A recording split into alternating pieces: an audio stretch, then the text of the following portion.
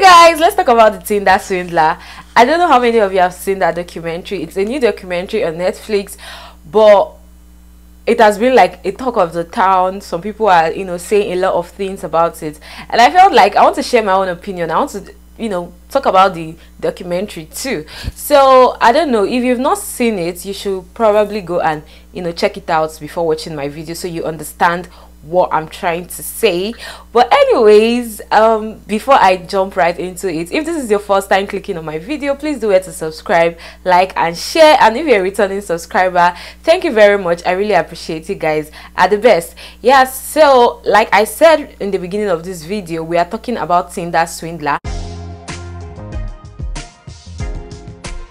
Guys, moving on please disclaimer i'm not telling you what i'm trying to say implies to everyone but this is just my own point of view.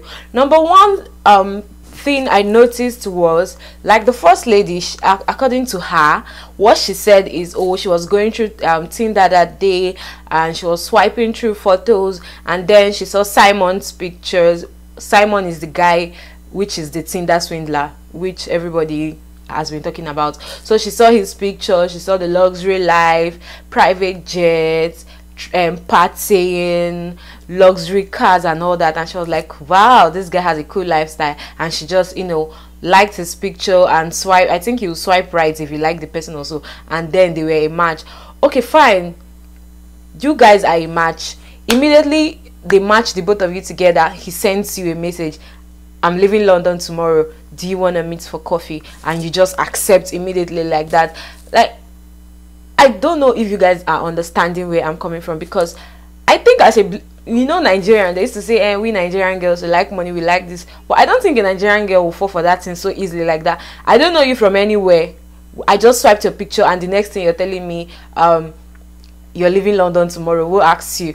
We should meet for coffee. Fine. If you want to know somebody you can't you don't even know my name you just oh apart from what you're saying on Tinder, you don't ask me what's my name, you don't ask me where I live, you don't even ask me if I'm busy. The next thing you just say is let's go out and you too you accept to meet up with the person just like that. And I feel like these ladies that fell for these things, they are gold diggers. Honestly, if they ask me that's what i'm going to say. These ladies are gold diggers because because you saw a luxury lifestyle. Because you won't tell me if they just see a regular guy like that and the guy invites them out they will just easily accept. They'll want to be um let's let's take it slow. But because you've seen private jets because you've seen luxury cars you now you now accept to go on a date. Okay fine she accepted.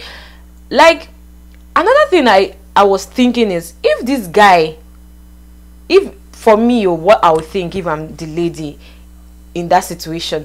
Somebody that claims to be a billionaire's son, because when they met and the guy said he's the CEO or whatever of LLD companies, something like that, LLD Diamonds, yeah, whatever, he's the billionaire's son and all that. How come a billionaire's son that should be busy is online immediately there was a match he sends you a message and immediately is available for a coffee like all these kind of things should you know make you think twice about this person. But you went ahead and you went on a date. On the date the next thing he's telling you is um the both of you should travel. You should go and pack your things. Like is that how jobless you are? That somebody you just met today today is telling you pack your things let's travel and you're going.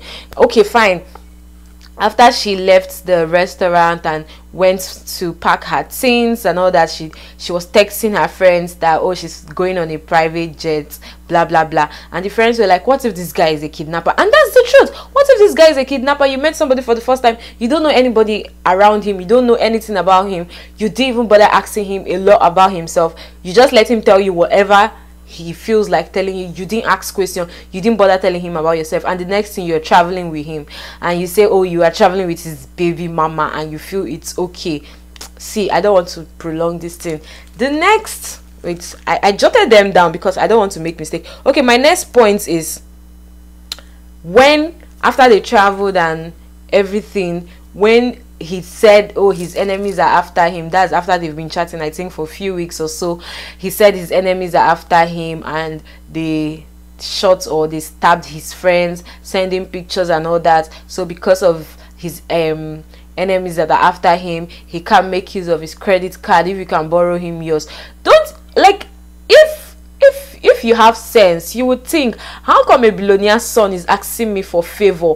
Because this is a billionaire son for crying out loud. If you don't want to use your credit card you can actually use your dad's credit card. You can use your mom's you can use your friends all the people that are around you that used to take pictures with used to go on private jets with all those people they should have money. So why didn't you ask them for favor? Why is it me you're asking for favor? Because all these things are something we should look out for or is something that should be looked out for if you're trying to know someone or you're trying to meet someone. So i don't think the the guy was really wrong.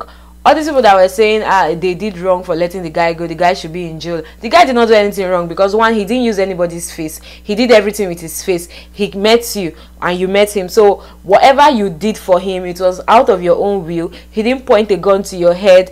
He didn't threaten you or anything. It was just out of your own foolishness because how is somebody you just meet start telling you that he needs a favor from you and he's a billionaire son for crying out loud? So there are thousands and there are thousands of people that will be willing to help him. So why you? This is one question i will ask myself if i'm in that situation. Why me? Like of all the people or what if you didn't meet me? Will you die? You will settle it. So why not look for someone else? But this one she went ahead you know gave him a credit card and the next thing he maxed it out just like that. And you were like oh okay it's it's normal for him to you know spend that much since he's a billionaire son he has friends he goes on expensive trip. You are seeing what they're using your credit card for just hotels um hotels booking of flights hotels booking of flights for different names. And your brain did not click that what is going on. This guy is traveling everywhere and he told you oh they you should take a loan and you too you stupidly went to take a loan. The another part of it is when she wanted to take a loan and when they were asking her about you know the use of a credit card and all that and the guy said okay he's going to employ her in their company. She applied sent her details and all that. Are you stupid? Somebody sent you a pay slip to show that you are earning very much. And you didn't ask yourself how come this guy could you know work a pay slip out and i didn't receive the money in my account and every all my details are there? That should be a red flag on its own that this guy is up to something. Like how come you gave me a pay slip and i didn't receive the money? And she went ahead stupidly to use it to show whoever she was showing that oh she earned small so um she deserved the loan or whatever.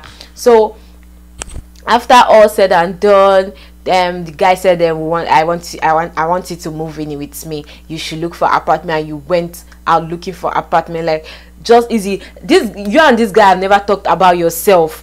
You like it's so stupid. Okay fine. She said the first night they laid together and she saw his back. There were scars and all that. So she asked him about it and he said uh, he went to prison in south africa because of um a, a friend betrayed him or something. A billionaire son even if a friend betray you with the connection your father will have you won't even spend a night in that place if truly you are what you say you are. They will even touch you the way his name was like because when they searched google his name popped out. So if he's that famous as he claims to be he shouldn't be in that situation that they will give him all those scars on his body. Like that should be another red flag that oh this guy is up to something but she still went ahead stupidly and saying i've never seen a guy so vulnerable.